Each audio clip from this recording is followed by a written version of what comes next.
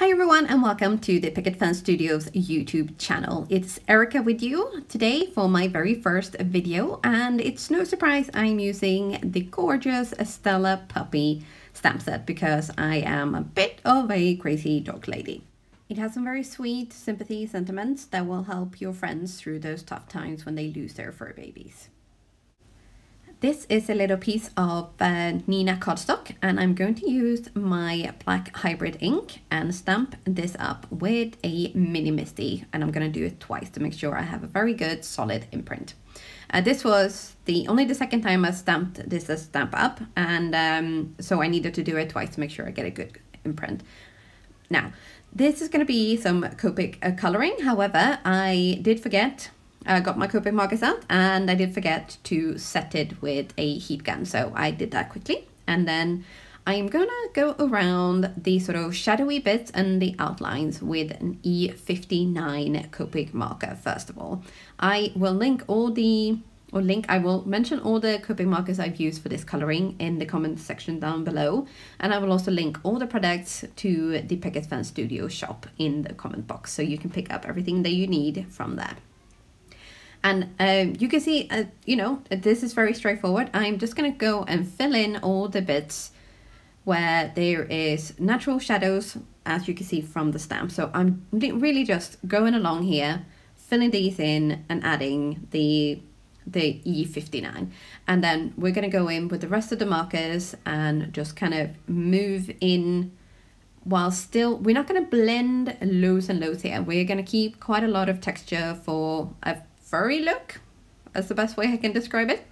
Uh, now, this is going to hop into a hyperlapse or time lapse very soon, but the key to this kind of coloring here was to just kind of flick your marker and don't worry too much about the blending. Even when you're sort of halfway through and you think, oh, this is really not kind of looking very good, because when I did add this E19 marker, first I thought, oh boy, I made a mistake here. This one is too red. But I kept at it because I thought, well, this could be a learning a learning curve lesson. So always stick with it until you are completely done because there's always ways you can save your coloring. And please don't despair if you don't get good results right away because as with everything, practice, practice, practice will make perfect eventually.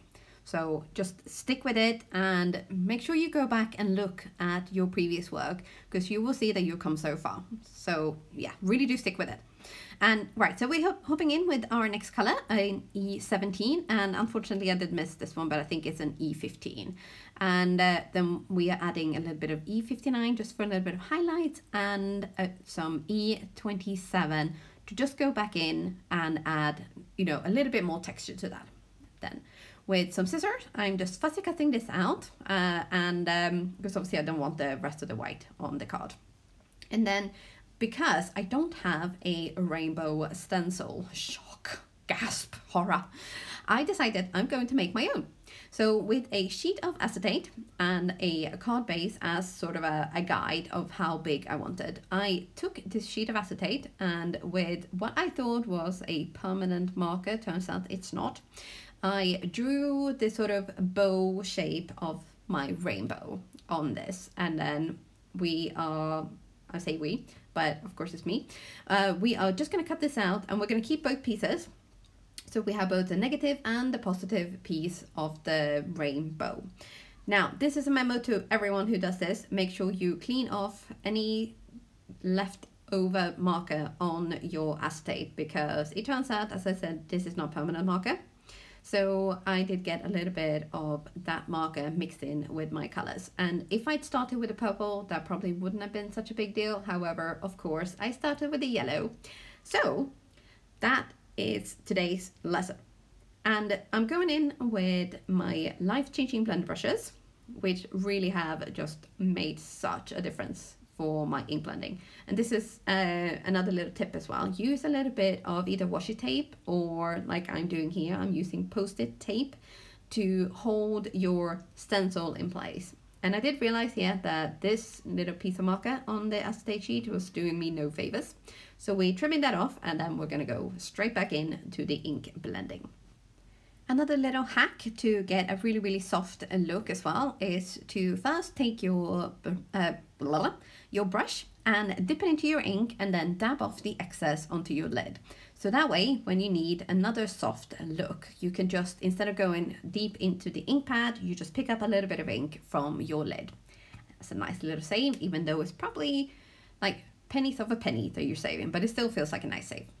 And right, so we are gonna then move this little stencil up to cover up the yellow. And uh, you might have noticed as well that I kept a little piece of kitchen towel just off to the side so I can clean off my stencil because I thought, well, you know, I learned from my um, my previous mistake here, so I want to make sure that there is no color contamination. So I'm also using a different brush for every color. And if you're looking at the card now, you can see that there is quite a gap between the yellow and the green. But I thought, well, uh, well, um, we'll carry on and see how it goes. So I want to move on to use uh, my third color, which is a peacock blue. This one is a lovely, lovely blue color from Ink on 3.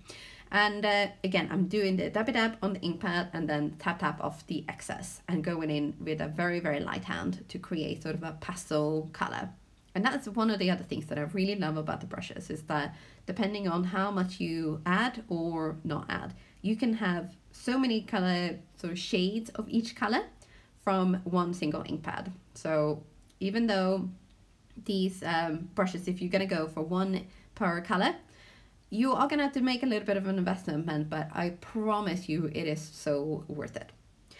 So here with the negative bit of my handmade stencil, I am going to add in a little bit more yellow because I thought, well, that gap is starting to bother me now. So I'm gonna add the, I'm using both sides of the stencil, going in with a little bit more yellow to just kind of bridge the gap. And the other side of the stencil is keeping my green clear and free. And the first little bow bit is keeping my white space clear. So, I mean, this is kind of like a win-win situation, isn't it? And after a little bit of a cleanup, we are going to move on to our next uh, color. And here is I don't know what number we're on now, maybe hack number three of the day, four maybe, is to maybe instead of using a card size stencil, use your entire sheet of acetate because I realized that the stencil was, oh, my homemade stencil, was not big enough to actually make a big bow. So use your entire sheet of acetate.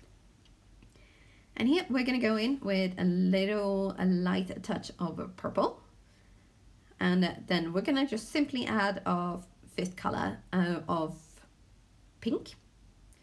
And with that, the rainbow is done, but you can see I'm getting such a lovely, soft look. And the colors are kind of blending in towards each other. I'm such a fan of these brushes. I really cannot say enough good things about them. They have been a complete and utter game changer for me personally because I never really got on with the old style like foam pads um, with ink blending. I always got marks on my cardstock no matter what cardstock I'm using. Uh, I was so frustrated because I really really love love love the look. So when I tried the ink, the life-changing blender brushes, there is a reason they are called this, it was eye-opening and I could basically hear the angels sing. It, I have never ever since used my old style blending brushes or blending tools. Whilst on screen, I'm finishing off at this last color. I'm just going to talk quickly about the card that uh, inspired me to make this handmade stencil, homemade stencil. It's actually a card that you're going to see at the end with the credits rolling and uh, I did really like the coloring on that, but I stamped up the Stella puppy directly onto a card base and then colored her in and then tried to do the ink blending around that. So I used a mask on that stencil over her and ink blended around. But I think I kind of like this one this way better because you have a little bit more control of where exactly your colors are going to go and your final result. But now, we're going to quickly stamp up a few sentiments on this card and then we're going to roll off onto the credits so you get to see the first card as well. Sadly, I forgot to film this part of the actual card making, but it is just a simple stamping up a sentiment with the hybrid black ink and we were done. On the first card, which is on the left, I stamped them up on uh, white cardstock and trimmed them down and added them to a few bits where the ink blending was a little bit overlapping. And with that, that's me done for today. I hope you enjoyed this video. We'll give it a thumbs up and don't forget to subscribe to the Picket Fence Studio YouTube channel.